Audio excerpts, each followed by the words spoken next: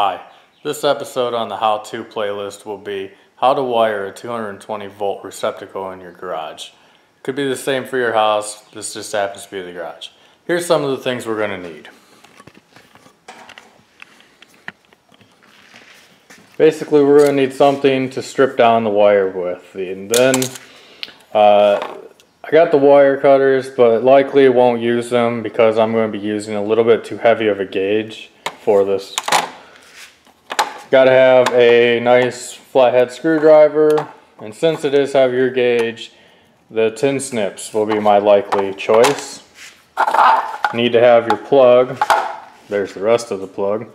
Inside the plug comes a little bag of goodies, and this bag of goodies basically, it's just the hardware that's required. Once you have it all wired up, you're going to need a multimeter or a voltage tester basically just to test your circuit and make sure you've got it correct. So the one thing we're going to do is when you align these receptacles you have the option of coming in from the bottom or in this case the top as it's going to be sitting like this or you can also do the punch outs on the back side if it's coming out through the wall. So I'm just going to use the one inch punch out. It's real simple. This one comes with the slot, put the screwdriver in, and you just basically are going to pry on it until it comes loose.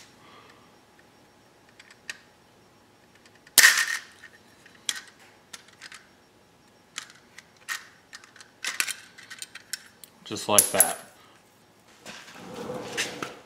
Now I'm going to be right back. I'm to definitely make sure that since this is already wired up in my junction box, I'm going to make sure that it's a dead circuit. Just to make sure that this is a dead circuit, even though I know it is because I have it off in the junction box, what you can do is you can basically just go from the either the black to the green or the red to the green and if this were a live circuit those would be giving you your 110 or 120 volts. Right now I'm showing zero.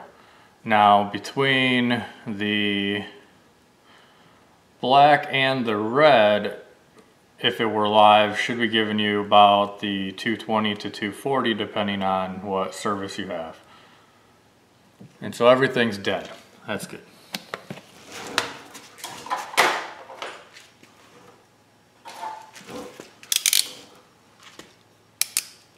So I'm going to take the cutter and I'm going to make the first cut.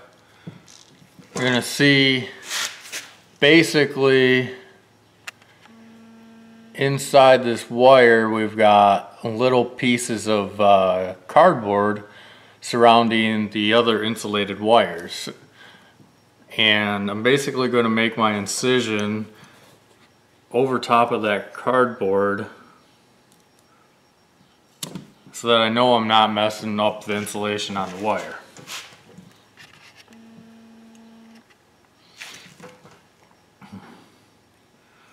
one thing to be careful on this wire is it's actually like twisted so you have to do like a helix path if you were going to try and stay over the cardboard.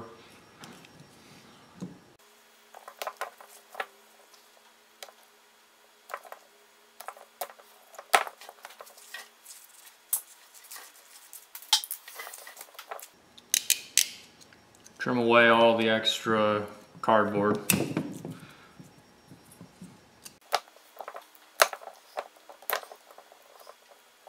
Now while I'm doing this, just uh, want to make note that the cable that I used has four wires in it.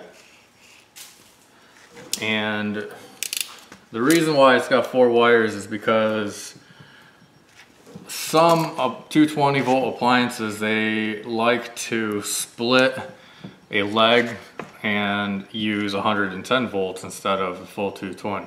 So a regular 220 appliance, like what I'm gonna wire this for, a welder, is going to use just these three, uh, basically these three wires. You've got your ground and two hot conductors.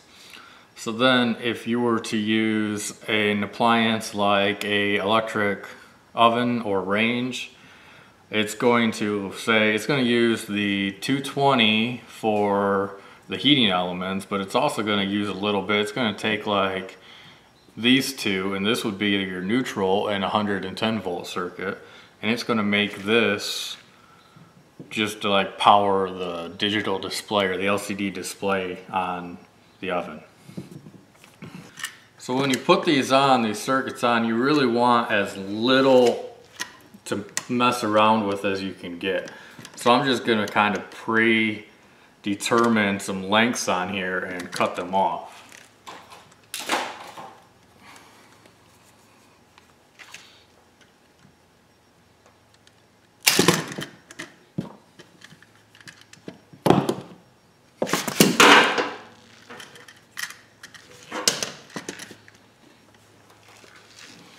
Falling objects, wear safety shoes.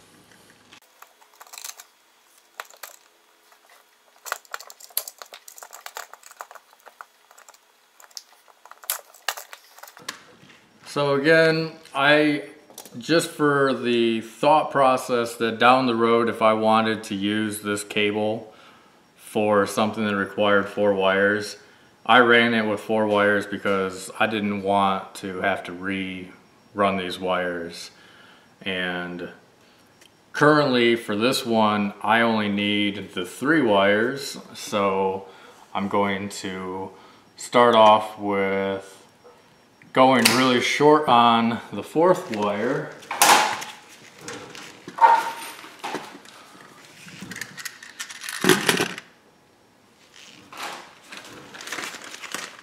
And at the very minimal you should tape this fourth wire off.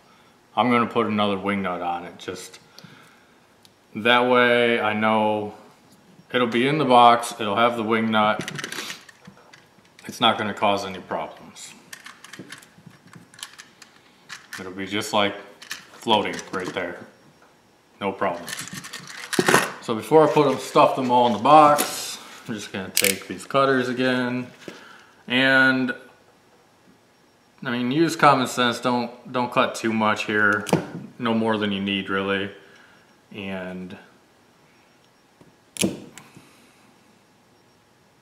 I'd say maximum 5 eighths of an inch but I guess if you really wanted to be subconscious over it most of the boxes that these plugs come in have a wire stripping guide for the a length of what you should strip it. It doesn't really matter. I'm sure that there's a code on it, but as far as which conductor goes on which side, they're both supplying the same power. It does not matter. What does matter is that you get the conductors on the side and the ground in the middle because that's the way it's connected in the panel.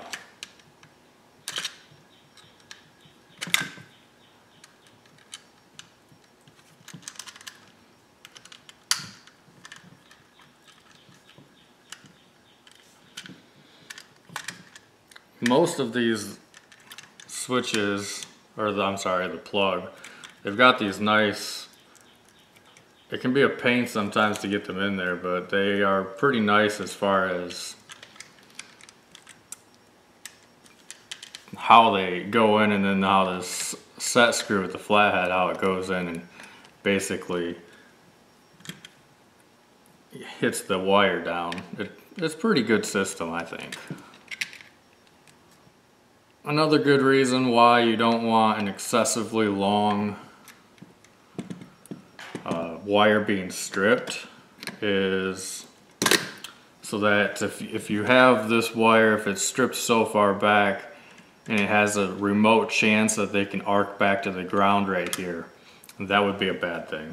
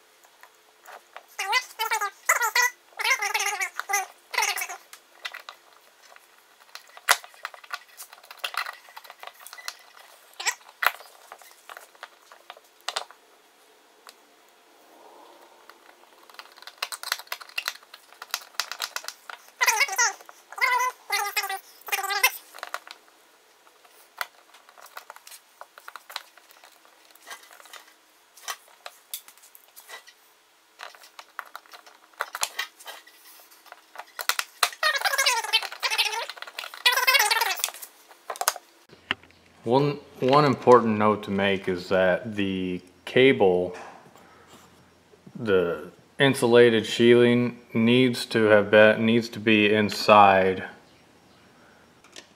So these two screws, basically, they put the, you know, the cable holder, it's kind of, it's called a relief. And it's called the relief basically because if there's any tension in the cable from being pulled or something, it, it takes all the relief from any tension here and so it's not pulling any of the cable out of the terminals.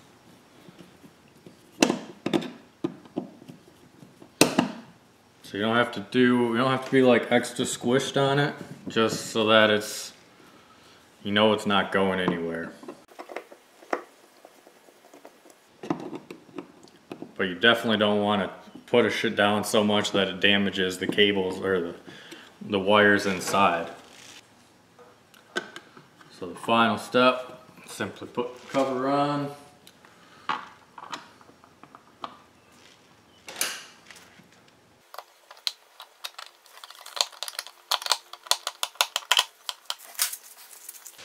Tell you that the first good sign is always when you can turn the breaker on and it doesn't automatically trip out on you.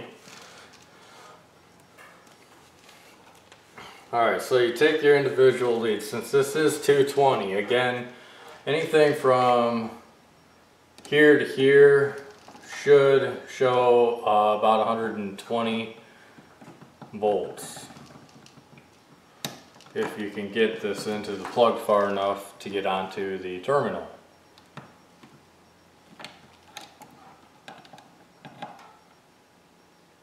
So there's 122 there. So then go to the other side. You got the same 122. So where you get your 220, or in this case, it's going to be 240. Where you get that is across the two and there 244 245 so that is a correctly wired uh, 220 240 volt receptacle that's going to so there you have it. We got our our plug wired in and it'll give us the correct amount of line voltage that we need for a 220 to 240 volt equipment. Um, Again, definitely make sure you have a multimeter around or a voltmeter that you can test this out with. Uh, you just don't want any accidents whatsoever. But hope that uh, you found this video informational on how to wire a 220 to 240 volt receptacle. This one's 50 amp, 50 amp. They're 6-50 NEMA ratings. So uh, if you like this, subscribe, hit the like button. If you want, leave a comment. Let me know about some other type of video you might want to be interested in seeing and I'll see if I can get that put together for you. Thank you.